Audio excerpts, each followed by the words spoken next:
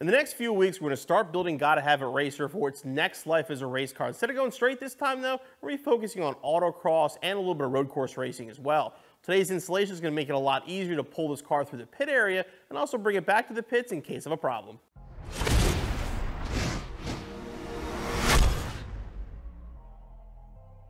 This is Blowfish Racing's tow hook kit. This is to fit all 2005 to 2014 Mustangs. Now this is a front kit that'll mount to your front metal bumper and includes honestly hardware for installation. These are made right here in the USA and feature a high quality powder coating and the ranitized clip and then finally the hook itself. These aren't designed to drag the car out of anywhere, but if you're towing through the pits or you have a breakdown, whatever, it's the perfect way to hook a strap up and pull the car safely out of the way.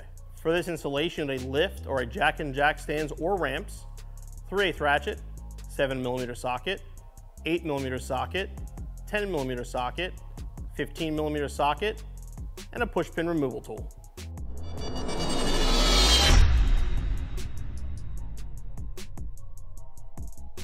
Now, depending on what trim level Mustang you have, the process is basically the same, but some of the details will be a little bit different. Now, in the case of Gotta Have It Race, this car obviously lived its life as a race car before, so some of the pieces are actually missing off the front end. The first thing you want to do is pull the plastic cover off, which is held on by plastic push pins. In our case, that is long gone, so to start by removing these four screws.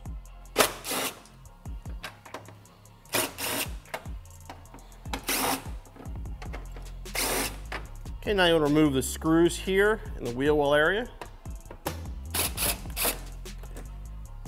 Normally would be three. Again, history of our car, we're missing a couple. Now once the wheel well screws are removed, you want to go underneath and unbolt the belly pan. Again, missing from our car here. Then you come up here to these, just basically pull the bumper and separate it from the fender. We're to disconnect the marker lights on both sides and then the fog lights if equipped.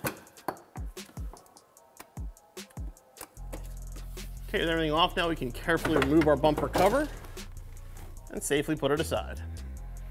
So the bracket's gonna mount to the actual metal bumpers. The first thing we have to do is remove the styrofoam crash pad out of the way. You're gonna do that by removing these clips. Okay, and then remove it from the car. Ready to install the main bracket. Now at this point, you have to decide where you want the tow hook to come out. Now if you want the standard height, you can install this with the shorter carriage bolts. If you want to hang it down a little bit further, say you have a front license plate, intercooler, or on a 10 through 12 Mustang for more room with the grill, use the provided spacer and the longer bolts. Our case, we're using the shorter bolts since we actually have no lower grill on this car. We have the high flow Roush on there, so it's wide open.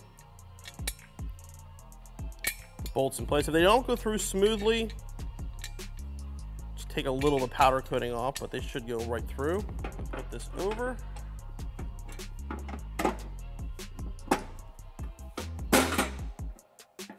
And center it.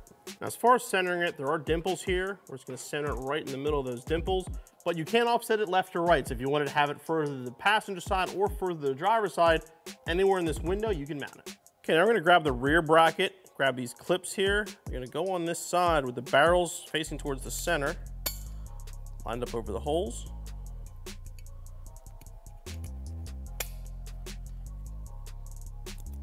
Install this,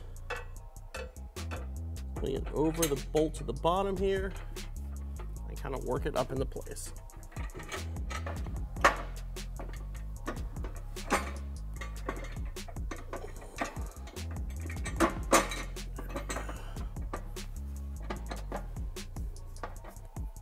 Okay, then use the supplied hardware.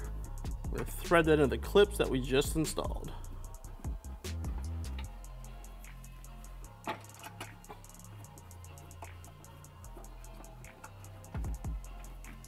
Now, this is a really cool thing that Blowfish thought of. Now, if you're running a splitter with strut rods, give you this piece here. This will actually go on here before the hook. And basically, these will give you mounts for your strut rods. In our case, we don't have a splitter just yet. We'll keep these for the future, but we're not gonna install them right now.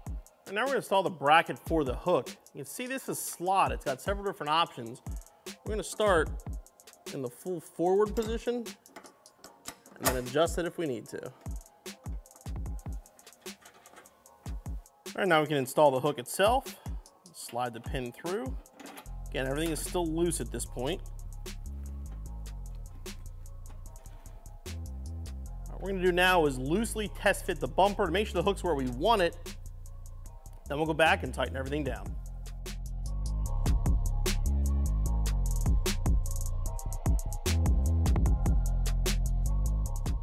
That's what it looks like all the way out. My opinion, it's absolutely perfect for what we're doing.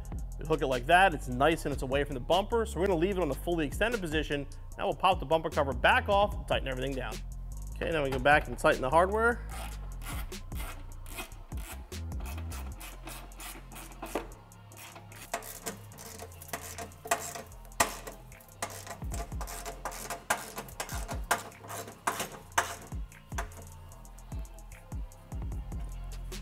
Now that everything's tight, we're done with the installation of the tow hook. Reinstall your bumper your installation's finished.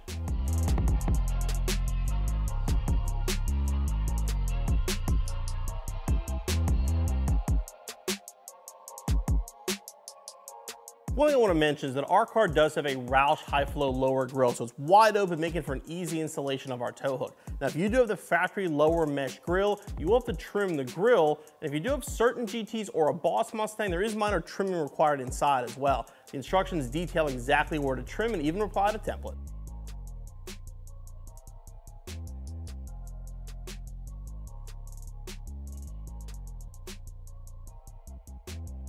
While many people consider the tow hook just to be a cosmetic upgrade, our blowfish unit looks great and it's extremely functional. And at some point in time, I'm sure this will bail us out on the track. As far as the installation goes, it's pretty straightforward. You do have to remove the bumper, but no more than about two to three hours, you'll be back on the road in no time. Hey guys, hope you enjoyed that video. Make sure you click on the CJ button so you subscribe for future videos and click the corner up here for more videos for your Mustang.